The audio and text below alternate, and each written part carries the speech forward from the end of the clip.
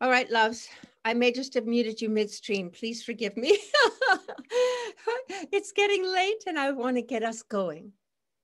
So, welcome. You'll have more time to talk to one another, so don't fret. Welcome to this day, this day so near to Christmas and solstice and Kwanzaa and Hanukkah. Welcome to this day when Paula Korn and I will ask you to imagine being on Mars and creating a blueprint for living on Earth that allows us to thrive and offer thriving to all around us. It's an interesting topic for just before these holidays, why the stars shine bright in the night sky. And yet, doesn't every holiday ask us to join the journey, the topic of this Sunday service? Hasn't every religious prophet asked us to become, to become more than we are, to tend to what is broken with more open heartedness, to offer another our love with more abandon, and to decide what is worthy of living for.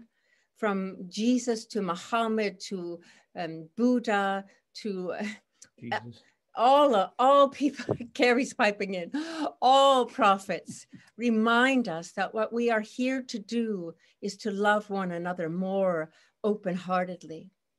Welcome to this Sunday where we tend to one another's stories and souls with a tenderness that we tend with our very souls each time we meet, each time we lean into vulnerability, each time we risk loving. Welcome. It is my pleasure to have built the container of this adventure today with UU member Paula Korn. Paula's interest in space bloomed while working at the Financial News Network, now part of CNBC, where she produced and hosted a series about commercial developments in space. This project led to a contract with NASA headquarters, writing studies and reports for a variety of NASA's programs and distributed to the Congress, White House, and business community. She has also produced two editions of a book for NASA called Accessing Space, a guide for commercial users. In the late 1990s, Paula joined the Boeing Company, where she served in several senior communication positions in Boeing's space division. She recently retired and moved to the North Shore, where she is now at work on her first novel called On Mars, The First 50 Years, 2030 to 80. She describes the book as an imagined history of people living, working, and surviving on another planet. The book evolved out of a short story she published in 2014 called From Nantucket to Mars. Let us begin, as we always begin, with love. And Miss Paula, would you like to say something now? Just say hello to us all. You're muted, love. You've got to unmute yourself, Paula. There you uh, go. Good morning, everyone. And uh, it's great to be here. And, and I'm very excited about sharing my enthusiasm about Mars with you. it's been such a joy and pleasure to work with you too, Paula. We've had many conversations. It's been a blessing to get to know you better. Welcome, everyone. And Susan now has a quick announcement. Mm just an announcement about next week's uh, service, the holiday traditions. If you have um, a special holiday tradition um, for your family or just yourself, if you could email me that you'd like to share it, um, even if you don't want to say it at the um, next week's service, you can email me the story and one of us can read it. Um, we also are looking for pictures, photos of those holiday traditions. So you can email those directly to um, Elizabeth. Uh, and of course, I can never remember her email address. Maybe she can put it in the chat area too. Thank you, Elizabeth. Um, would love to have a few um, juicy traditions um, shared with us. So please email me. Yes, thank you. I also want to remind you, oh, thank you, Susan. Sounds so lovely. Post Christmas get together. I also want to remind you that on Christmas Eve at 5 p.m., uh, Nigel, Sue, Minton, and I are offering a beautiful candlelit service. And the poetry and the music uh, will be extraordinary. Nigel and Phaedra and Jessica San Severino uh, and the choir doing so much. Um, so please don't miss the opportunity to be with us on Christmas Eve. You'll need a candle. Um, try to have it be a pillar candle because I don't want you to drip wax on your computer or down your arm. Just a tip. And um, we'll so look forward to greeting you then. And now we'll have Gary light our chalice. Whoops.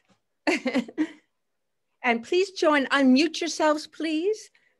And um, I'll just say the words so that you can remember with this flame, we renew our commitment to justice, peace, and compassion, and follow along with Gary. With this flame, We renew our commitment to justice, peace, and compassion.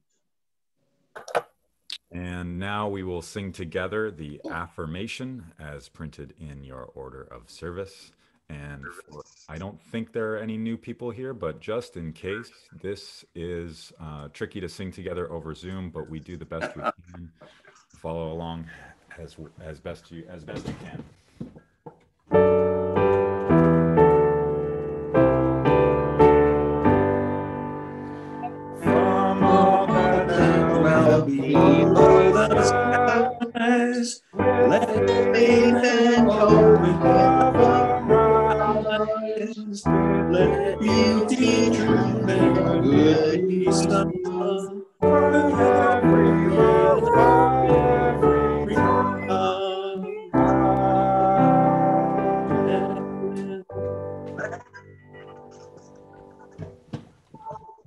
The time we celebrate the cacophony of all of our voices together. and of course, it is all over the place, but full of love and heart, just like Unitarianism itself. This is the time in our service where we greet one another. But before we do, we ask if you are new today or returning after a long time. Uh, if you would like to tell us or remind us of your name and where you're from, we'd love to greet you in good UU Meeting House style aplomb. So please, you could raise your hand or just um, just go ahead and introduce yourself.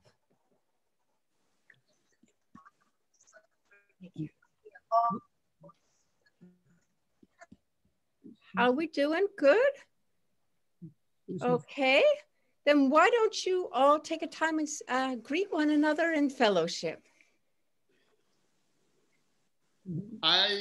Hi. Hi, Hey. Cinda. Hi, Carl. Hi, Van. Susan, Terry. Everyone. Morning. Hi, hi, Carol, South Road. Hi, everybody. Morning. You're muted, Cinda. Hi, Susan Carey. Hi, Susan and Peter. Hi, Paula. Hello, Susan. Hi, Kennedy. Hi, Susan. Kathy. Hi, Hi, Kelly. Hi, Allison. Hi, all the Susans. You're muted. Val. Val. And Hi, Paul and Laura. Hi, Genevieve. Hi, Al. Hi, Good evening. Hi, Bob and Loretta. Hi. Hi, Cal. Susan? Hi, Janet. There. Hi, Randy. Hi, Hello, Andrea. Susan Carey. Good to see you today. Hi, Hi, Kat. Susan. Hi, And Dennis. Morning, Hi. Cynthia. Hi, Judy. All right, Hi, my everybody. dears. I'm going to mute you all and all your loving hellos, which fill our hearts with so many blessings. Thank you for you. And um, hold on just a minute. And Nigel, my dear, we are up to you. It's time for our first hymn of the day, and this is one that we sing every every holiday season, and it's not in our hymnal. This is "Little Drummer Boy." Um, the lyrics were sent out in the order of service, which you can find attached to the Sunday e-blast. Um, if you It's also in the chat, Nigel, just so, so you know. Also in the chat. Um, if you can't find them, a quick little Google search will uh, aid at this moment.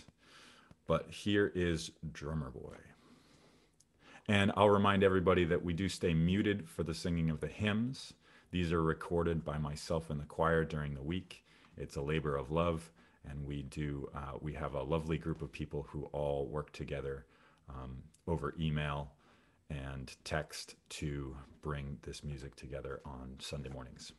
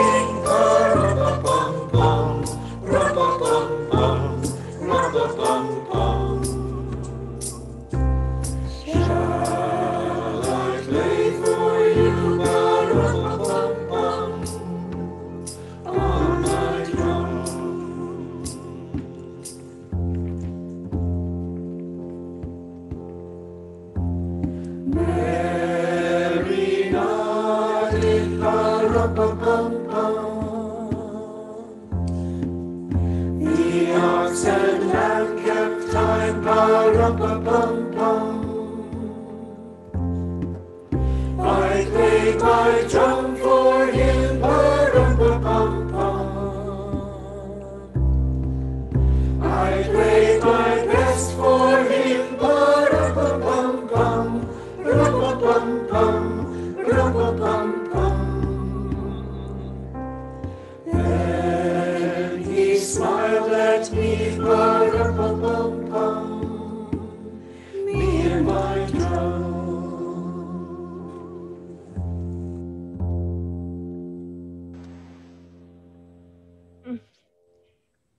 Thank you, Nigel. Thank you, choir. I love that piece, that reminder that we all have enough to give, no matter what is in our hands. It's what's in our hearts that matters. Thank you for that lifting up. And Miss Paula, you're up now, my dear. You're muted, Paula. Paula, you're muted. Um, there you go. Billy Collins. There you go. As if to demonstrate an eclipse by Billy Collins. I pick an orange from a wicker basket and place it on a table to represent the sun. And down at the other end, a blue and white marble becomes the earth. And nearby, I lay the little moon of a little aspirin. I get a glass from a cabinet, open a bottle of wine, then I sit in a ladder back chair, a benevolent God presiding over a miniature creation myth. And I begin to sing a homemade canticle of thanks for this perfect little arrangement, for not making the earth too hot or too cold, not making it spin too fast or too slow, so that the grove of orange trees and the owl become possible, not to mention the rolling wave, the play of clouds, geese in flight, and the Z of lightning on a dark lake. And then I fill my glass again and give thanks for the trout, the oak, and the yellow feather. Singing the room full of shadows as sun and earth and moon circle one another. And I get more and more cockeyed with gratitude.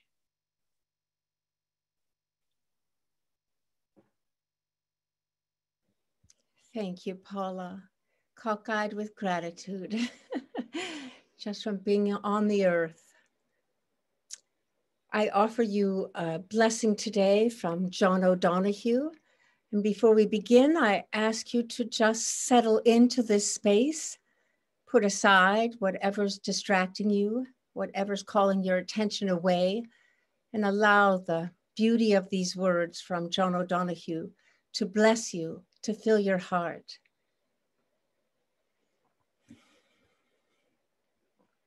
On the day when the weight deadens on your shoulders and you stumble, may the clay dance to balance you. And when your eyes freeze behind the gray window and the ghost of loss gets into you, may a flock of colors, indigo red, green, and azure blue, come to awaken you in the meadow of delight. When the canvas frays and the currach of thought and a stain of ocean blackens beneath you, may there come across the waters a path of yellow moonlight to bring you safely home. May the nourishment of the earth be yours. May the clarity of light be yours. May the fluency of the ocean be yours. May the protection of the ancestors be yours. And so may a slow wind work these words of love around you, an invisible cloak to mind your life. Amen. It is time now for joys and concerns. This is a time we call part of our theology. The seventh principle reminds us of our interconnection and that our joys and concerns bound us as clearly as our breath. We leave this time for all of you to share your grief and gratitudes with one another.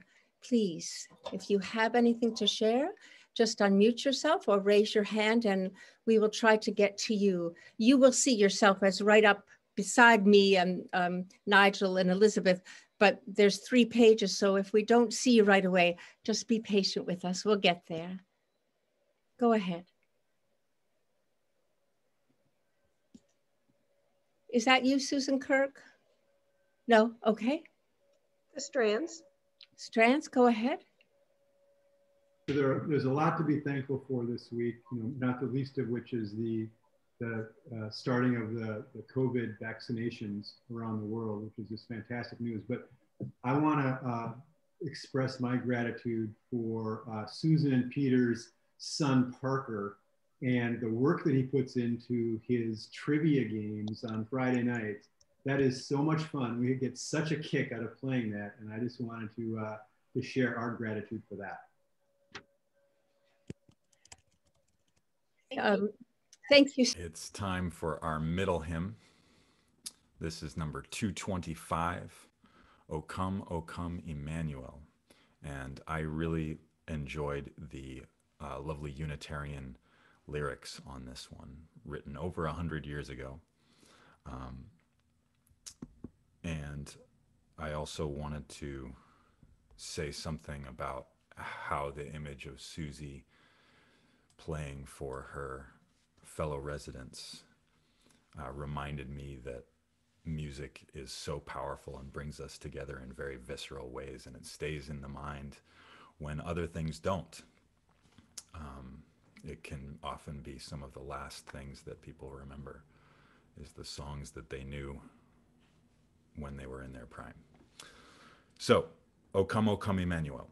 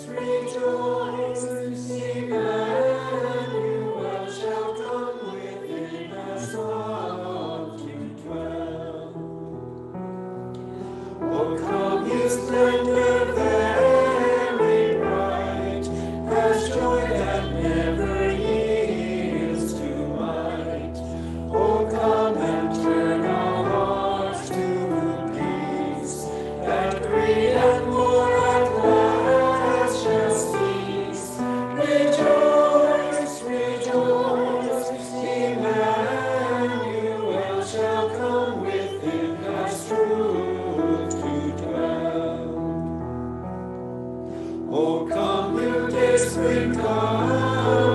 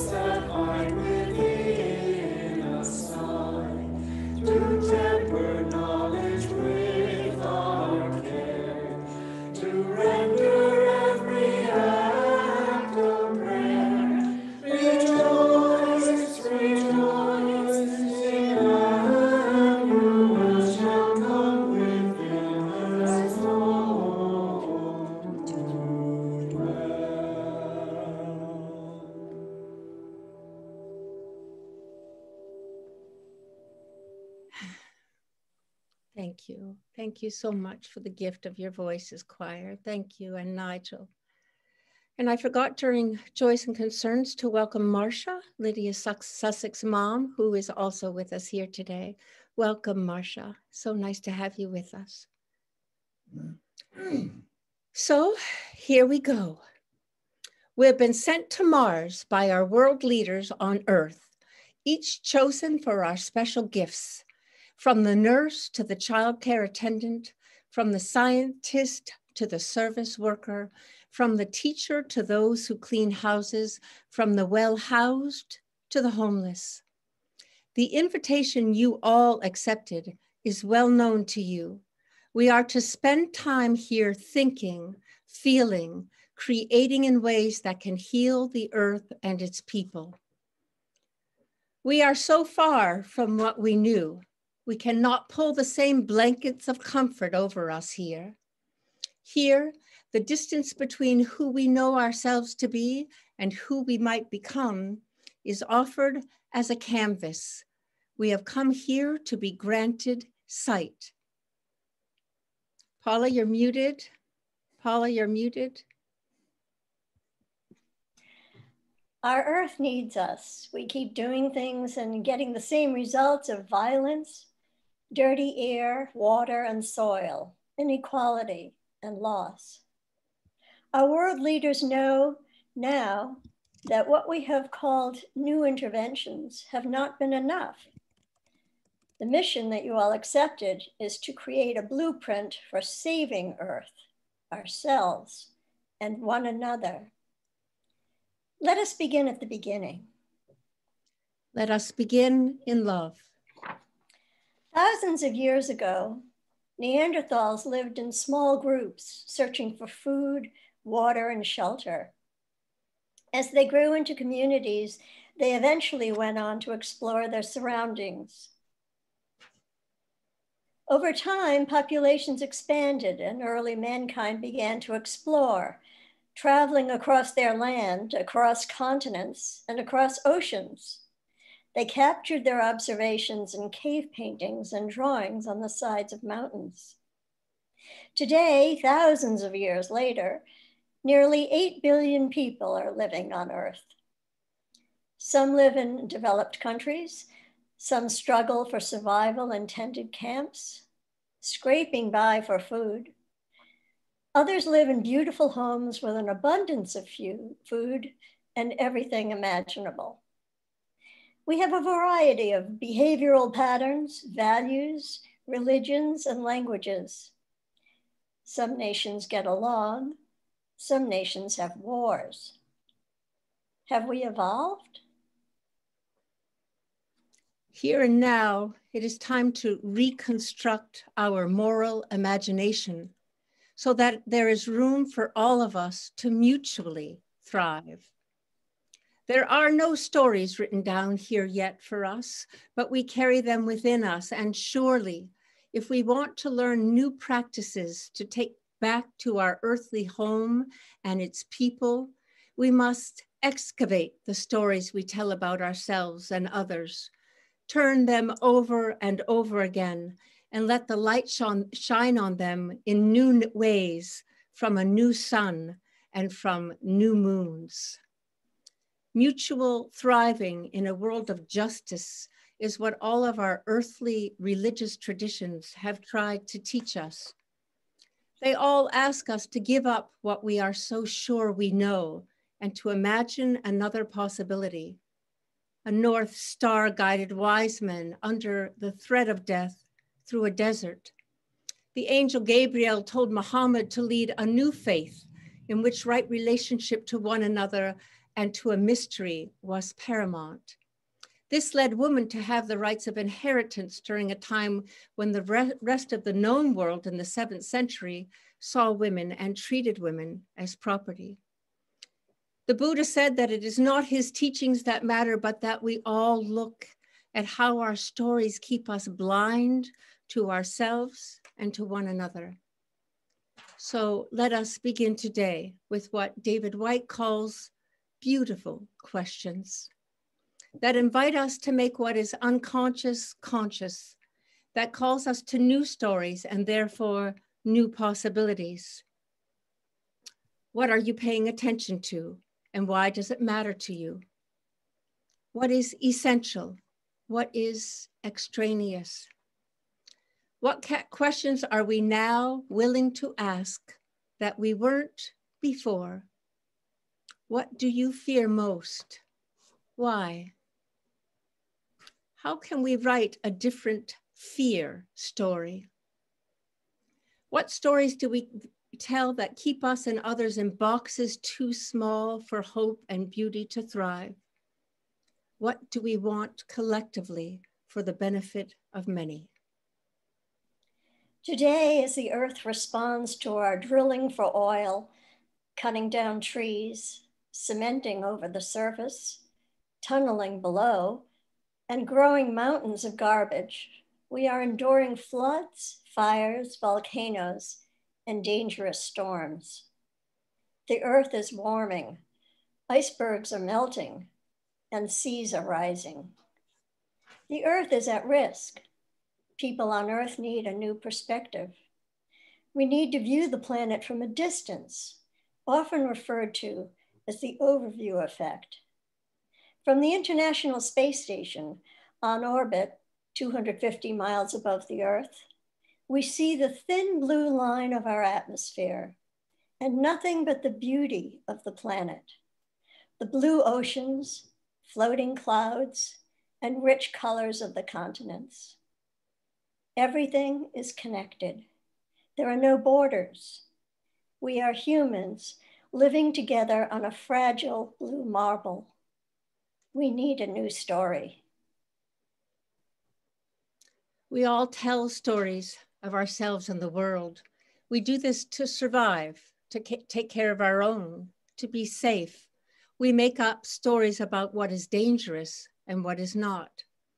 We tell the stories that keep our identities intact. Here and now on Mars, the page is blank.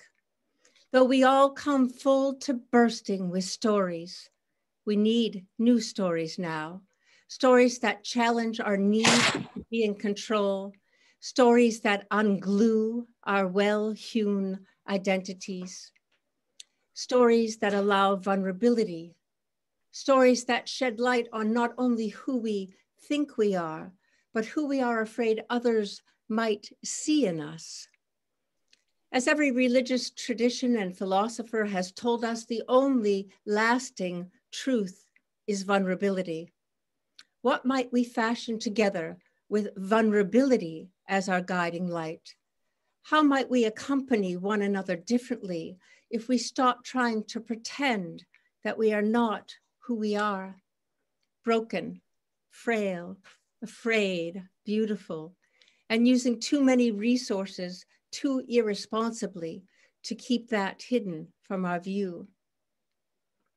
Here, too, is what every great religion has taught us the art of making holiness is about honest, vulnerable accompaniment with self and others. It always has been what has made something holy. And here on Mars, here where we are forced into our vulnerability, let us not build towers into the sky to distract us from seeing who we are and who others are. Let us be here in this openness that a different atmosphere and gravity and sun push upon us. Let us be here and see one another as we are and as we might become. On Mars, we find a new perspective of ourselves and of the Earth. Mars has a reddish sky, sandy plains, lots of craters, towering volcanoes, a vast canyon system, and two moons orbiting above. We are alone here, just us. We are members of an international team of many disciplines, studying and exploring the planet. We depend on each other to support our work and our lives. Like the buddy system of childhood, we look after each other. We are learning about the history and science of Mars, and we are learning about a new way of life. Everyone works together, building shelters, a hospital, a school, and an agricultural center where vegetables grow and small animals roam in an enclosed farm. Everyone contributes, everyone shows up, everyone attends to the requirements that allow us to survive. There are no better or worse people here. We all accept the difficult challenges of planet Mars, and we share the delight of our many discoveries and surprises. In the spirit of telling new stories and being vulnerable, I share with you now that my cousin spent most of his life in jail for stabbing someone as he robbed him. He has been out of jail now for about a year. We are friends on Facebook. Every other word he says is a swear. His English is a mess. It has taken me a while to realize he is talking about the same thing we all talk about in one way or another finding someone to love, working in a place where his coworkers appreciate him, having a few rooms to warm him, to lay his head down and rest. Sometimes I find myself closing my heart to him because of the words he used that chafe me. Still, he is there in all of it, in every word. He uses words differently than I do, but he points toward the same desire to be loved and safe, to have enough, the same need to be accompanied just as he is in all of his beautiful and broken use of a language that says, See me, take a moment to learn me. Do not turn away until you have allowed our stories to intermingle, our vulnerability to be shared. We are trying to build a different world, reconstructing stories that make someone worthy of our love and keep others from it, making someone worthy of our time and others unworthy, making some worthy of food, clothes, shelter, and others unworthy. How much of what we had on earth was possible because of our skin color, nutritional foods we were given while growing, access to health care, schooling, where teachers believed in us. My cousin had none of those things. We work hard to maintain our identities, what we believe about ourselves, and also what others believe about us. But what kind of room in and around us does this create?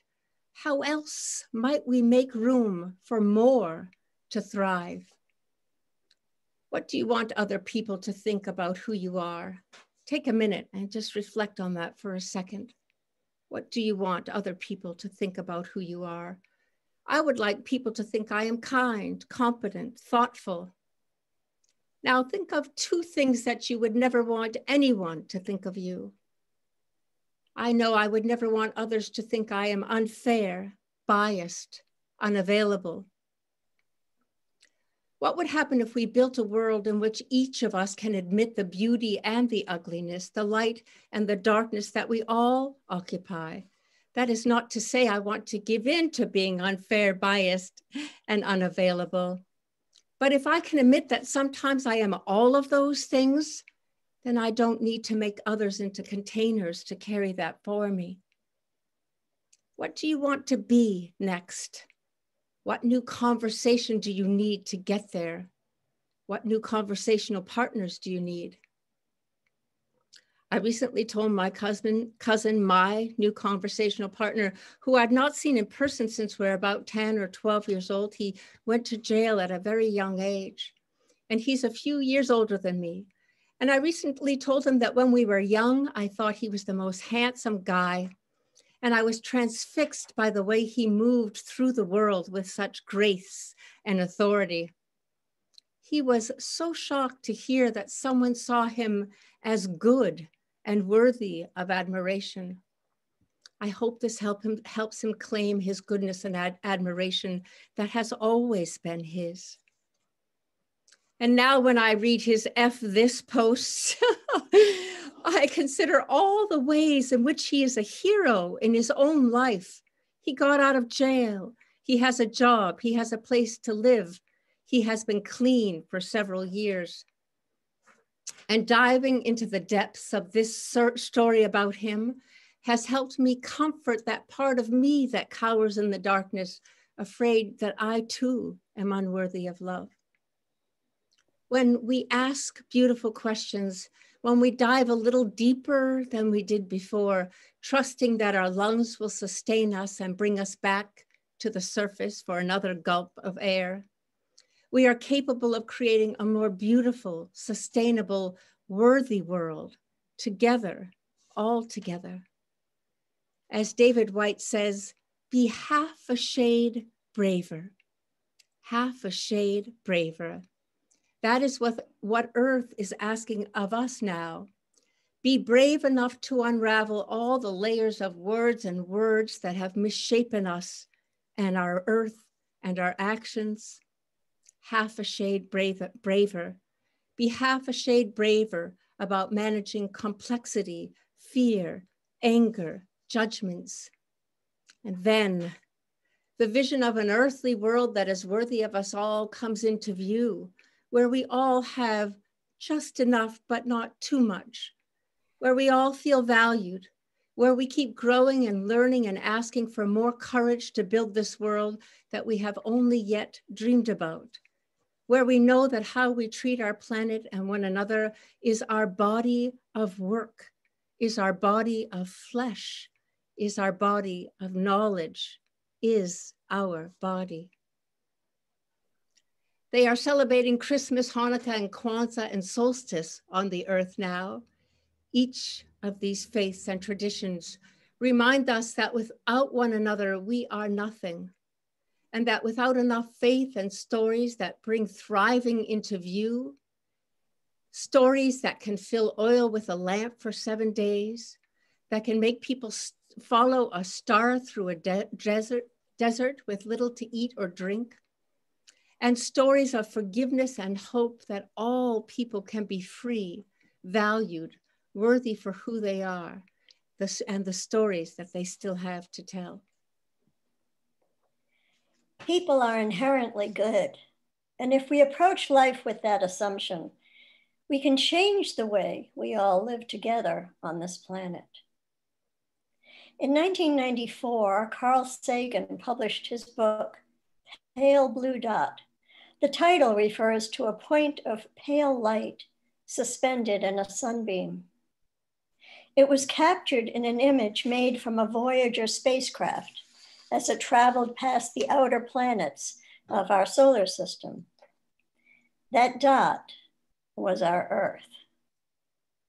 Dr. Sagan said of that moment, the Earth is the only known, is the only world known so far to harbor life. The Earth is where we make our stand. It underscores our responsibilities to deal more kindly with each other and preserve and cherish the pale blue dot, the only home we've ever known.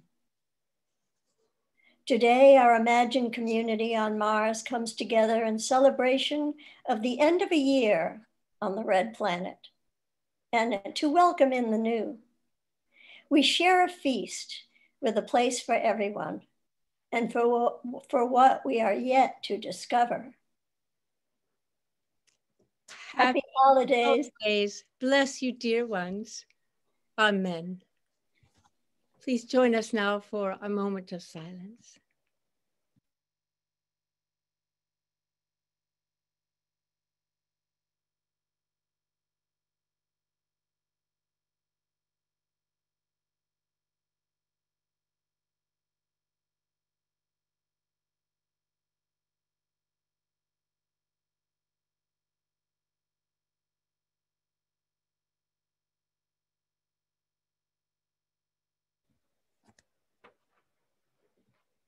It is the time in the service where I ask you to be generous, to open your heart to this story, to this story that we create together in all of its beauty and brokenness, in all the ways we need to forgive and be accountable and to bless and to celebrate one another. Please be generous. We need one another to stay alive on this earth right here and now. Elizabeth? So I just put in the chat the link for the website as well as the PO box if you would like to do a check. Um, when you go to the website, unitarianchurchnantucket.org, um, no, it's, here we go. Um, up at the top left, there's the receive updates. So if you want to get the newsletter, you can do that. Over at the top right, there's the contribute and the um, text to give, which will take you to Tithely. Down at the bottom, there is the PayPal. When you click on contribute,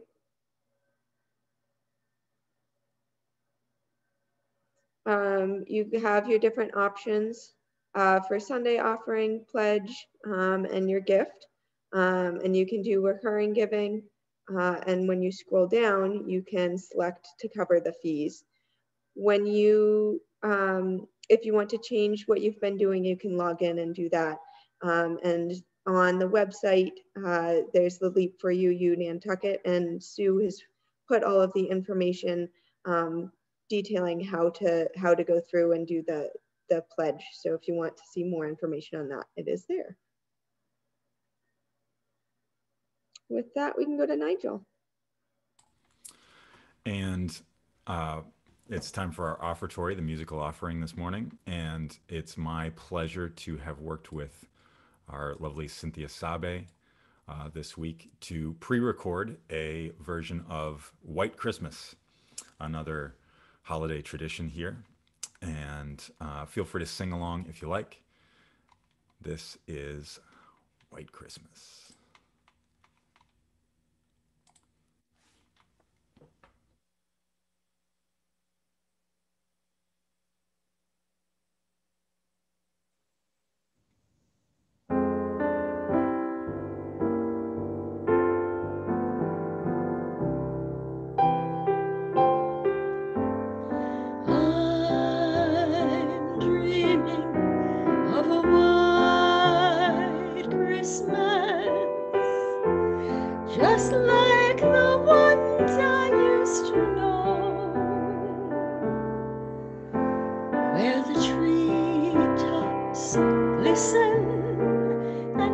Children listen to hear sleigh bells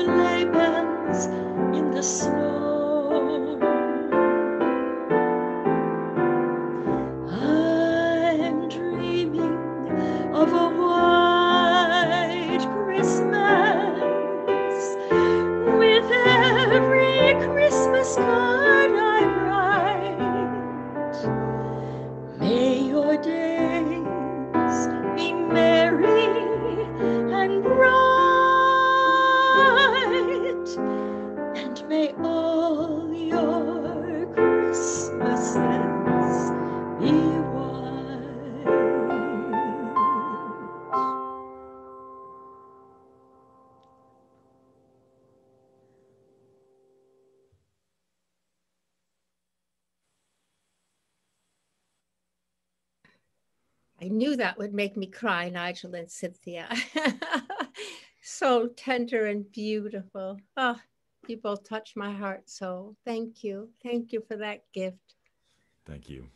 It's a it's always a it's always a joy to make music for you guys. And thanks, Cynthia, for pulling that together with me this week. Um, it's time for our final hymn. This is number 244. It came upon a midnight clear.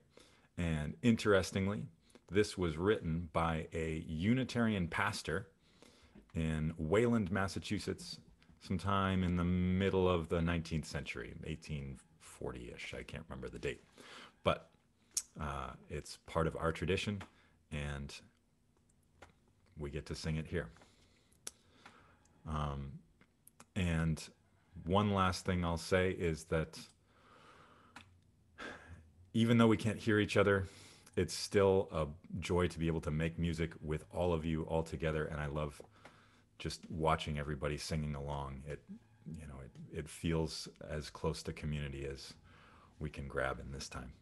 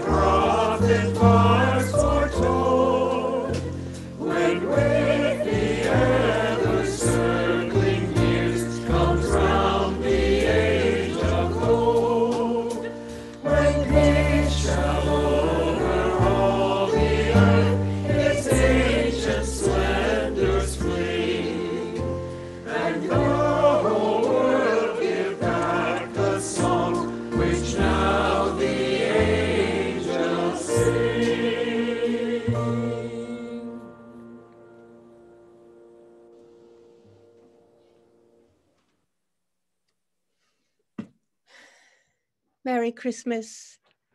Happy holidays. Whatever you celebrate, happy solstice, whatever ways you bring more light to the earth during this time of darkness. May it be so. May we be beacons of light and shed. Uh, someone asked me re- recently, How do we heal? And I said, By giving to others the same way we have always healed. May you find a way to give the blessing of your beauty to someone else in any way that you can imagine. I know it will be received with great hope and love. Bless you all. Merry Christmas. I love you from the bottom of my soul.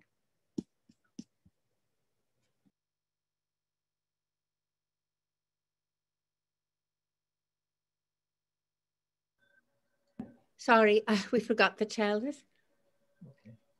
Uh, please um, join Gary in extinguishing the chalice uh, with unmute yourselves. The words are carry the flame of peace and love until we meet again and off you go. With this flame. No. Oh. Carry the flame. love until And love. Carry the flame of peace and love. Until we meet again. again. Meet again. Wait a minute. Hey, Holly. Oh, well, you missed the announcement. Holly. Just a minute. That's your mother. Holly, oh. do you have something you want to say? Marty wanted to say something. Yes, yesterday in the Wall Street Journal is the Mars or Bust article. So this is for Paula. By the way, we found out yesterday we're going to Mars. So right on time here. Wall Street Journal is finally catching up to you.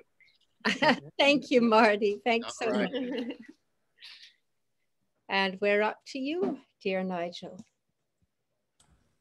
Yes, for the postlude today, uh, I have a special treat for all of us. Um, I have an a cappella jazz group, and we got together a few weekends ago to do some socially distanced singing. And um, I asked them to record this piece to share with you guys today. This is Deck the Halls, and we have Amanda Torsia, who is a friend of the Unitarian Church, on soprano, and Jeff Cutts, who is the music director at the First Congregational Church and a, a good friend and colleague of mine, on tenor. His wife, Lainey Cutts, who is the middle school chorus teacher at Nantucket uh, Cyrus Pierce Middle School, and myself singing bass. Um, so enjoy this quick little clip of Deck the Halls.